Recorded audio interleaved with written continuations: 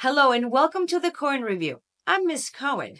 Today's topic understanding the differences between Weber and Rinne tests and sensory versus conductive hearing loss. This content is valuable for medical professionals and, most importantly, to my fellow NPs who are preparing for board examinations. Let's dive in. Here are the differences between conductive versus sensory neural hearing loss. Conductive hearing loss occurs when sound waves are blocked or reduced in intensity as they travel through the outer ear, eardrum, or middle ear. Causes Think of an object obstructing the flow of sound. An example uh, fluid in the middle ear from cold or allergies, ear infections like otitis media or externa, benign tumors, cerumen, or an object stuck in the ear, such as a child inserting a pebble in the ear. How about a problem with how the outer or middle ear are formed? Some people are born without an outer ear. Some may have a deformed ear canal or have a problem with the bones in the middle ear.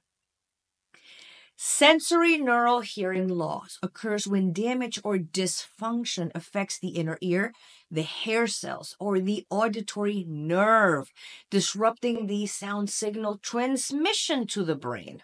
Causes Think of nerve disruption or the disruption in the conduction of the sound, kind of like an electrical malfunction. For example, Meniere's disease or ototoxic drugs damaging the cochlea or the auditory nerve. Next, let's explore the differences between the Weber and the Rinne test. Weber and Rinne test result interpretation. Let's start with the Rinne test. The way you perform this test is first by checking bone conduction, and you do so by striking the tuning fork gently on a hard surface to produce a clear ringing sound. You then place that vibrating tuning fork on the patient's mastoid process, which is right behind the ear. And then you ask the patient when he can no longer hear the sound. You then check for air conduction, and you do so by immediately placing that vibrating tuning fork near the external auditory canal, about one or two inches away. Then you ask the patient again to report if they can still hear the sound. And that is how you perform the Rinne test. The Weber test, it's performed by striking the tuning fork gently on that hard surface to produce the ringing sound. You place the vibrating tuning fork over the midline of the patient's head, typically on top of the head, right about over here. Then you ask the patient to report which ear the sound is louder or if it's equal in both ears. You record the patient's response, noting whether the sound is either one, not lateralizing or is staying in the midline, which will translate into a normal result. Two, there's conductive hearing loss if it lateralizes to the affected ear. Or three, there is sensory neural hearing loss if it lateralizes to the good ear. Did I lose you yet? Stay with me because the next slide will show you what I just said and simplify it further.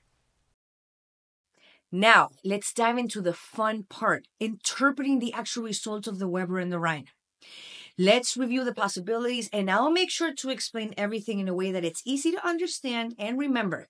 So please leave a comment and let me know if I succeeded or not. Okay, so here's the deal. If the Rinne test shows air conduction is greater than bone conduction, and the Weber shows no lateralization, then congratulations, you have normal results or no hearing issues. If you remember this for the results interpretation alone, you are all set for the nurse practitioner boards. Because if you remember what is normal, then you know how to recognize what is abnormal. If the Rinne test shows bone conduction is greater than air conduction, then we know there is conductive hearing loss in the ear. The air sound has been blocked by something. And whatever it is, it will vibrate intensely when we perform the Weber test, amplifying the vibrations. And that's why the Weber test will show lateralization to the affected ear.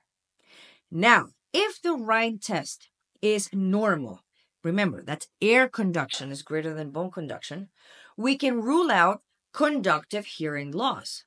So if the Weber test shows lateralization, it confirms there's a hearing issue. If the lateralization goes to the unaffected ear, it means there's sensory neural hearing loss. The affected ear won't be producing the Weber vibrations very well. And that's all. You may want to rewind and hear this again. Sometimes it takes two or three times until it clicks and finally makes sense.